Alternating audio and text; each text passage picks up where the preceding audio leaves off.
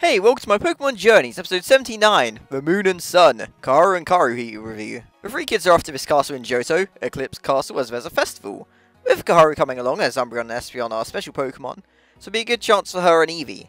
Considering the last Koharu-centric episode we had were the special episodes, it helps that the last episode focused on her wasn't the Vaporeon episode. I think there's a risk of it feeling repetitive to have Koharu meet an Eevee trainer and by the end of the episode not having decided on what evolution to let Eevee become. Luckily the staff are spacing it out well, but it did remind me a lot of the setup of the Vaporeon episode. Eevee, and by extension Koharu, run off as Eevee feels the presence of Espeon and Umbreon, and while they're gone, an old lady gives Ash and Go a history lesson about how in the past the castle was attacked in the Eclipse Festival, and the Lords Espeon and Umbreon protected him, leading to the crest of the two Pokemon being put in place. And that resembles an eclipse when the Sun and Moon become one, which is pretty cool. It's a pretty cool little story. Johto excels in its lore department, so extra additions like this are really nice. This lady is actually the current Lord, and is passing the title down. There's a girl at the sundial praying that everything will go well, and she's going to become the new lord. And that's when Eevee and Koharu arrive, and Espeon saves Eevee as it falls off cliff because it saw a future. And the girl at the altar is a dead ringer for Koharu. We've seen episodes like this before, so it's cool to see Journeys do a doppelganger episode. This girl is called Haruhi. Koharu and Haruhi swap outfits at the castle. They talk about Eevee not yet evolving, copying other Pokemon, and Eevee having particularly unstable genes. Haruhi gets the idea that Koharu wants to let Eevee choose its path, so she recounts her Umbreon and Espeon also chose their own path. And after a rousing speech, for sure Haruhi will be accepted as the new lord. And again we got some nice history. The lord who got attacked, Hisahi, was attacked by his brother Tsukiya, and it'd be Haruhi's duty to stop something like that happening ever again. Unfortunately, a ninja watches in a tree and strikes as Koharu is still in Haruhi's outfit. She's captured by the ninja and he escapes, leaving Eevee to rally the others, it kinda just happens, but I thought it was fun.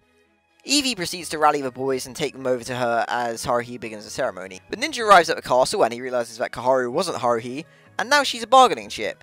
He wants to be the new lord. So she complies and is about to name him, Katsuki, as the new lord. But the boys and Eevee found Koharu and they're back just in time.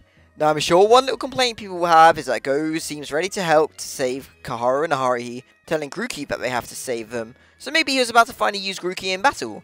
However, Haruhi and Koharu take the lead here. That makes a lot of sense to me. This isn't Go or Ash's episode, it's about Haruhi's ascension to the lordship, and Koharu getting to know the evolutions. It's their fight. So Katsuki battles with both of them, and it shows off the evolution's different strength. Though really I'd think Espeon would be the more offensive one, since Umbreon's offense sucks in game. This also shows off Eevee's copycat, yeah we know what that is. To no surprise, the girls win. I think the main takeaway from this is that this shows that the two evolutions work together as a unit, which may not be suited to Koharu's Eevee as it's kind of a lone Pokemon. And a big twist, but not really, is that Katsuki is descending from a traitor brother Tsukiya. And it's a pretty touching moment as Haruhi announces herself as a new lord, but also announces that Katsuki will be helping as they are technically related. He's the family's missing moon while she's the sun. They make up each other's flaws and support each other. It's a pretty nice message and they can make a new future together. I've got to say, I think I enjoyed this episode a lot more than I did the Vaporeon episode. It's got a nice little emotional story between the family. it's not like the lore is introduced to the story just for the hell of it. It matters and it comes to a conclusion in a satisfying way. Admittedly, I think the main cast just felt like spectators this episode. Even Koharu felt like she was just sort of along for a ride, but it's still pretty solid. Without this little story, I think the episode would have fallen pretty flat, but they did show off the two evolutions in a pretty decent way, and I think it really comes across like Eevee won't evolve into either if it does evolve, though I think everyone is just expecting Gigantamax as its path. I mean, even the last image of the credits uses the Gigantamax Eevee art, so yeah. I think this is a pretty decent episode, not the best, and I think could have used more from a doppelganger side of things to make it a little bit more interesting. Thinking back to Dawn of a Royal Day from Diamond and Pearl, that was essential to the plot, and I don't think it changes much if Haruhi looked different in this episode. I can recommend it if you like Koharu or little stories to do with Pokemon lore. But please let me know how you feel in the comments below.